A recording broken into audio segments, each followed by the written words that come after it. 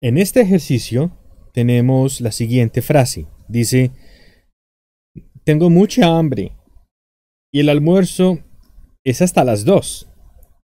Yo, luego dice, haber comido o haber tomado desayuno. Debí haber desayunado. Entonces, debí haber significa que no lo hice, significa que es, fue del 0%. Y las del 0% tiene que ver con should have, para decir debí haber desayunado.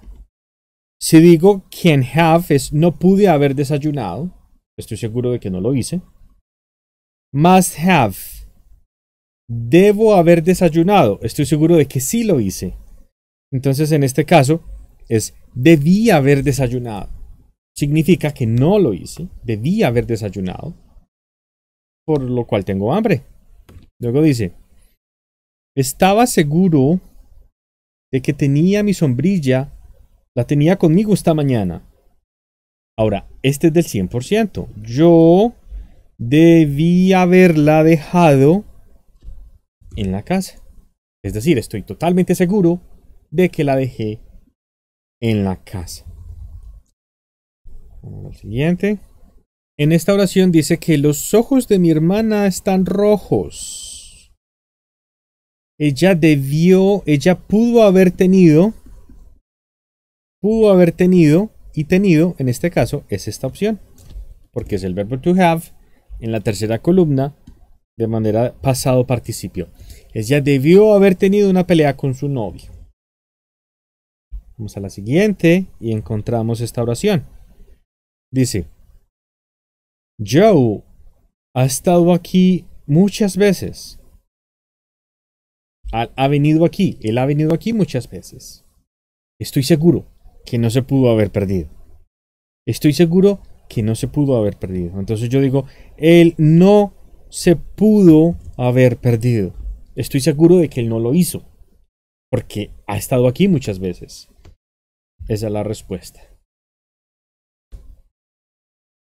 En este tenemos que dice, me siento realmente cansado. Yo.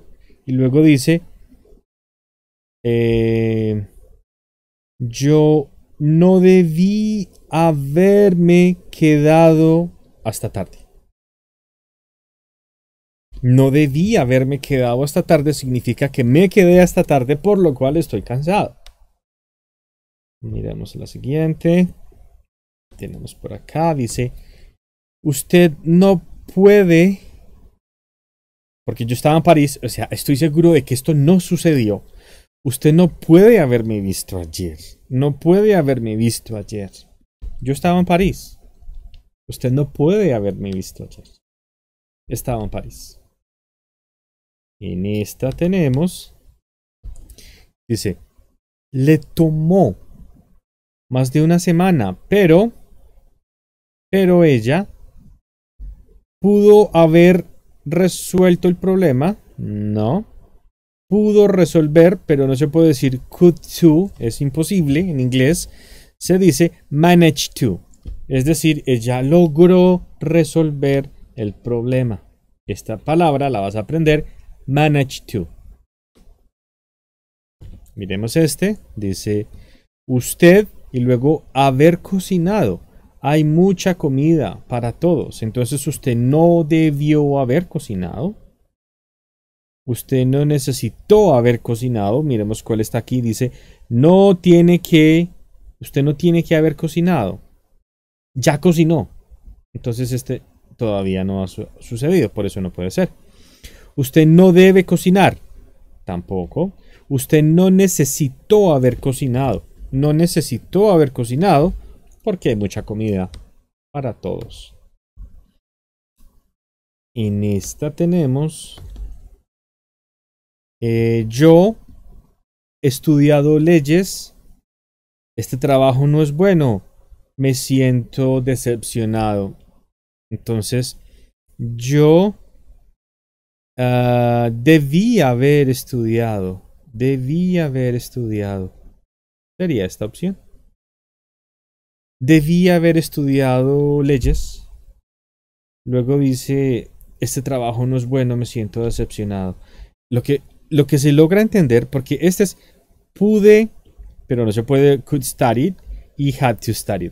Es como, tengo un empleo, este empleo no me gusta, debí haber estudiado leyes, no estudié leyes, me siento mal con este empleo. Me siento mal porque no hice algo anterior también. Y finalmente tenemos esta frase que dice, usted pudo haberse sentido, sentido es esta forma en el verbo, usted pudo haberlo sentido. Había un hubo un pequeño temblor de tierra esta mañana, usted pudo haberlo sentido, es una posibilidad 50% de que haya sucedido. Y eso es todo por el momento. Espero que sigas estudiando.